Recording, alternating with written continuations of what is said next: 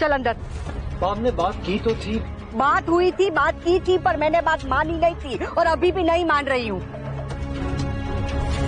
जब अहमदाबाद वापस चले जाएँगे तब तो तुझे घर छोड़ के जाना ही है।